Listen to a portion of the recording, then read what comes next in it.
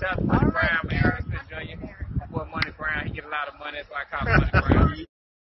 What's good, Monnie Brown TV? What up, what up? Yeah. I want to give a shout out to Monnie Brown TV. Thank you so much for everything. Hey, this is Ryan Garcia here. Shout out to Monnie Brown TV and uh, keep punching, baby. Yo, yo, yo, what's going on out there, Fight War? This your boy Money back with another one, fam. One here is on the legend and the big dog in this fight game. We got the legendary Canelo Alvarez, the hottest fighter on the planet, the number one pound for pound king, the four division world champion, the current undisputed super middleweight world champion. Then we have Ryan King, Ryan Garcia. Ryan is one of the hottest fighters at the lightweight division, one of the hottest up and coming fighters, a top contender, and just, you know, he's he, he got the potential to be a, a big star in this fight game. But Ryan Garcia is coming out and he's speaking some of his true feelings on why he left Eddie Reynoso gym, aka Canelo Alvarez gym. Um, and this is what he had to say, fam. I didn't quite understand why he would say something like that, especially to the media, because he could have definitely taken me somewhere else and told me personally, Ryan Garcia, on why he's saying Canelo Alvarez said he, he don't have a work ethic. He said I was like shocked, right? He said I felt betrayed, like really, like okay. And to be honest, I don't think he really wanted to show me um, the love I did. I don't think so. Just based on other things, said Ryan, hitting that Canelo may have been jealous of him. Right, so he's trying to make it as if Canelo was jealous of him and things of that nature. He said, I kind of took it as disloyal because I would never do that to him. I would never speak on him in the gym on what I think he should be doing or whatnot, said Ryan about Canelo Alvarez. We're a team. We shouldn't even speak any ill towards each other. I know I've never done that and I never will. So Ryan Garcia is trying to make it as if Canelo Alvarez is jealous of him. Ryan Garcia is saying that um, you know, he felt Canelo betrayed him, it was disloyal, and that he should have took him somewhere and told him uh, that he felt like he wasn't having a good work ethic, that he could have stayed in the gym, things of that nature. So, just my thing, everybody. Like, I, yeah, I know I've been touching on this for a while. Ryan is making it as if Canelo never reached out to him and told him that he needed to stay in the gym and, and work harder, bro. Which I, I, I can't agree with that because Canelo said he told him plenty of times, bro. So, Ryan, are you saying Canelo Alvarez is lying? You saying Canelo Alvarez never told you to stay in the gym and put in the hard work? Is that what you're saying? You saying he just making up shit? Because I can't see Canelo being that type of dude to just say some shit and, and just to be saying it, right? I just can't see it, bro.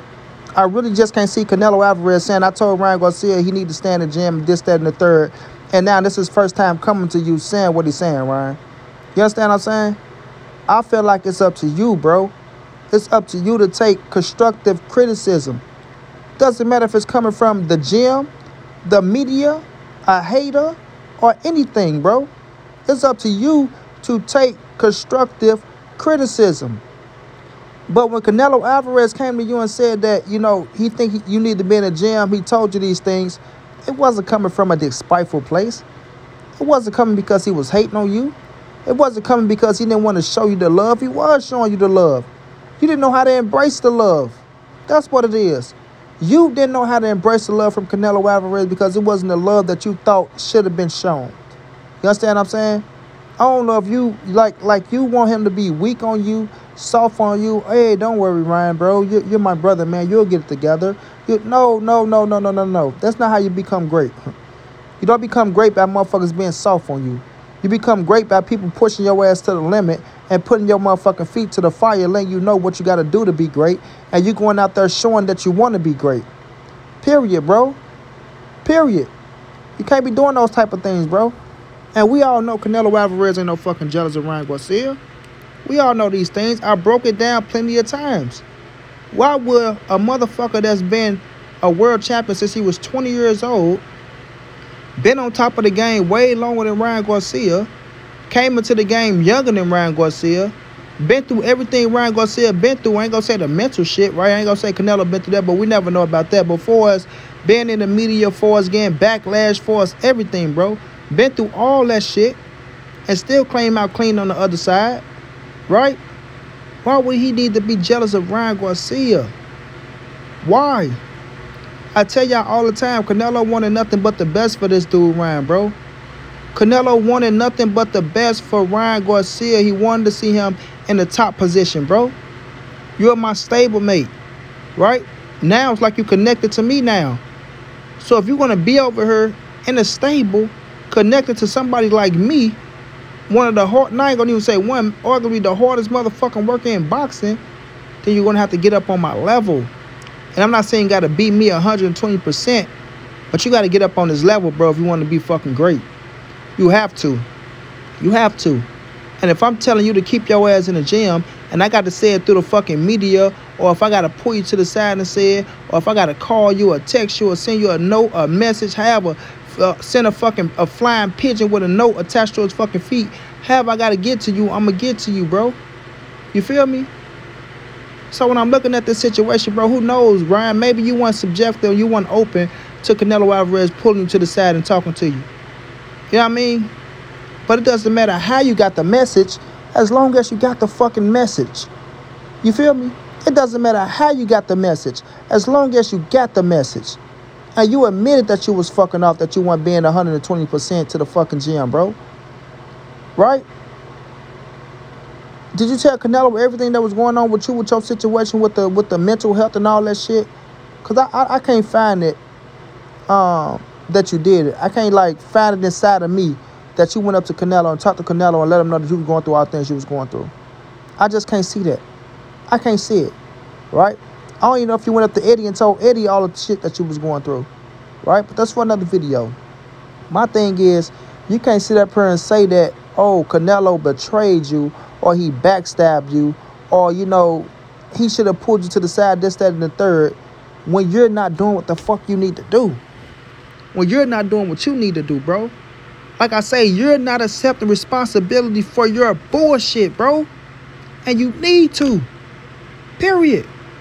Accept responsibility. Accept it. You dig?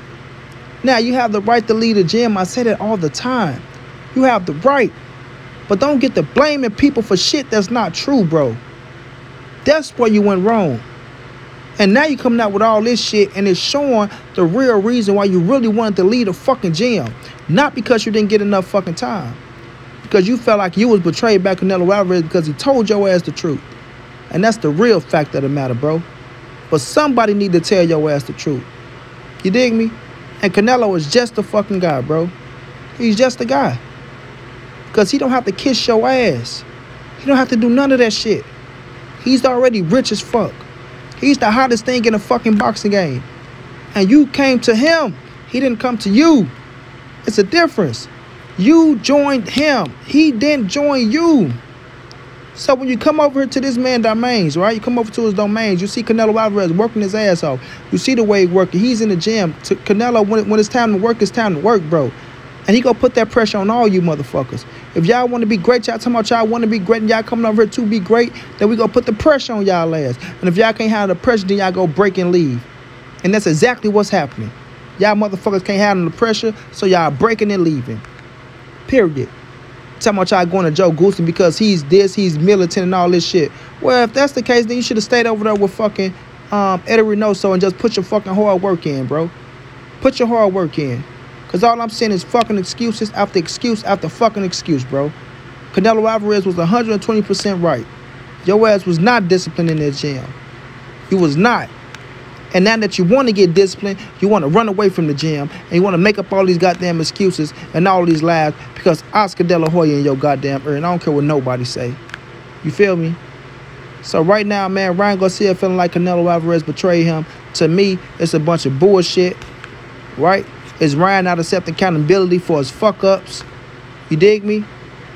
And he ran out when he know the pressure was on. Period, bro. And that's just the fact of the matter. Ryan has all the skills, all the tools to be a great fighter in this game, bro. But you got to push yourself to the limit. You got to want that shit.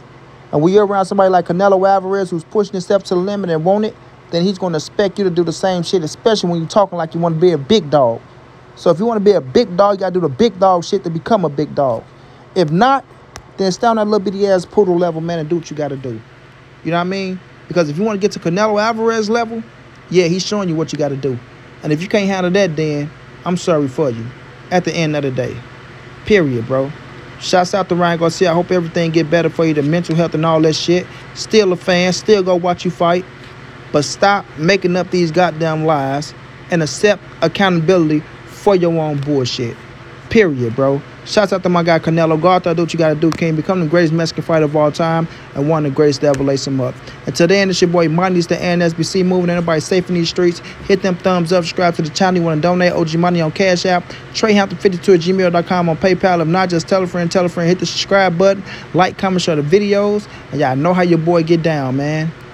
Big dog status, family.